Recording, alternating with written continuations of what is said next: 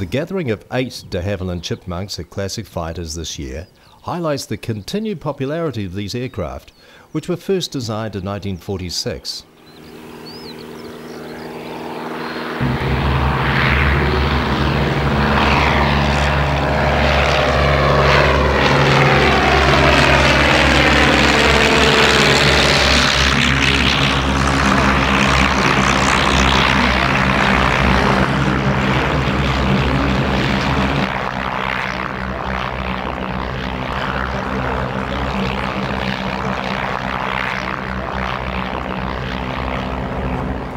ZK-ARL was one of the original Canadian-built examples and was imported in 1949.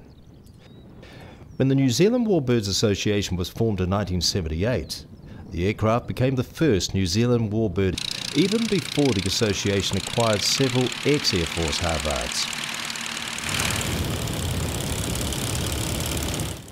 A more recent arrival in New Zealand is Chipmunk N861WP, which was bought by the old Stick and Rudder Company in 2003. This aircraft was used by His Royal Highness the Prince Philip when he was learning to fly in 1952, and it has recently been restored to its original Queen's Flight colour scheme. During the 1970s, Prince Charles and Prince Andrew also learned to fly in chipmunks.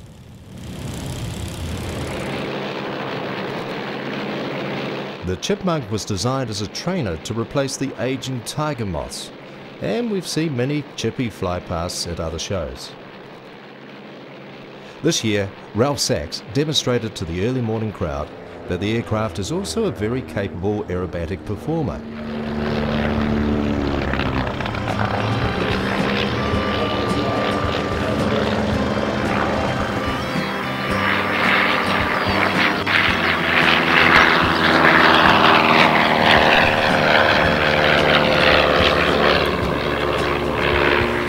While the chipmunk can roll and loop, it can't fly upside down for any length of time.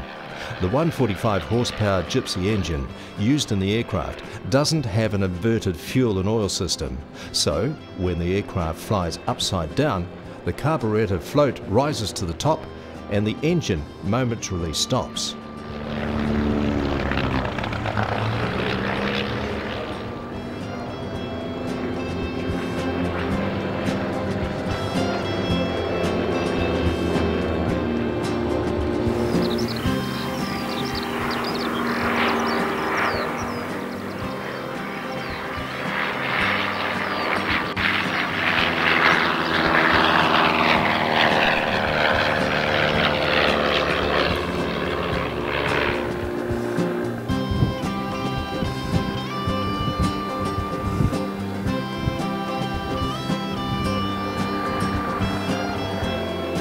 The last two chipmunks in military service are currently used by the RAF's Battle of Britain Memorial Flight. The two aircraft are not displayed, but are used to keep the Memorial Flight pilots current on tailwheel aircraft, which is a design now absent from the modern RAF fleet.